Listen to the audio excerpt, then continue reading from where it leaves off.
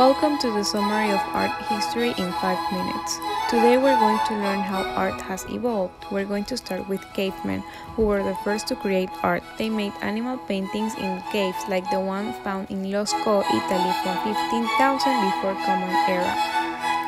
Apart from the cave paintings, they made small sculptures of exaggerated female forms called Venus, and the prehistorians built an interesting monument for worship called the Stonehenge.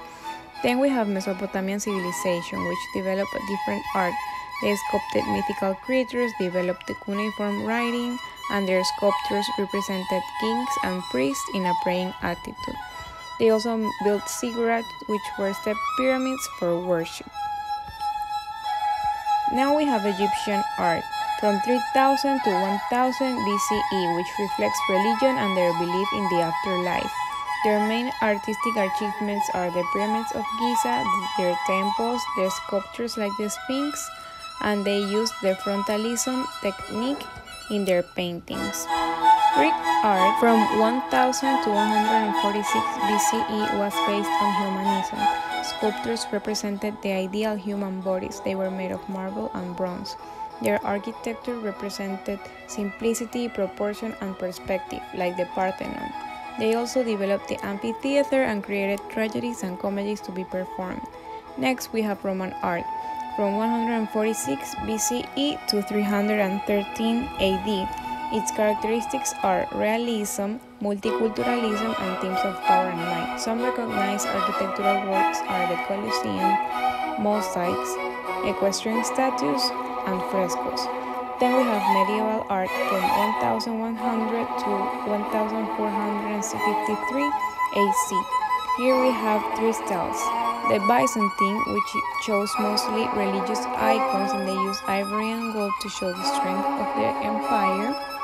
Then the Romanesque, which is also with a mainly religious theme, employing an emotional and expressive style. And Gothic, which reinforces symbolic meaning. Here we can find the artworks Christ as Seven Souls and the Notre Dame Cathedral. The characteristics of medieval art are they are very religious, very outlined, and bright colors. Then Renaissance movement started in 15th century, which means the rebirth of classical ideas of Greece and Rome. Here we find some of the most recognized artworks and artists nowadays, like the Mona Lisa by Leonardo da Vinci.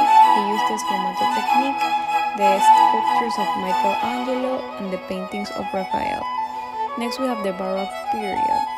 The church used art as propaganda, and the chiaroscuro technique was invented. The most recognized artists are Caravaggio, Bernini, Rubens, and Velázquez. The next movement is Neoclassicism, which refers to the emulation of Greek and Roman art. It was believed at this time that art should serve as a social purpose.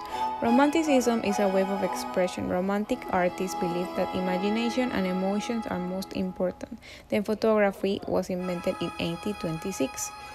Next movement is realism, which aimed to focus on unidealized subjects and events that were previously rejected in artwork. And impressionism sought to paint impressions of what the eye actually sees. Post-impressionism is against impressionism. Then we have expressionism, which emphasizes inner feelings. Here we find The Scream by Edward Munch. Cubism emphasizes composition over expression, and the most known artist of this movement is Pablo Picasso.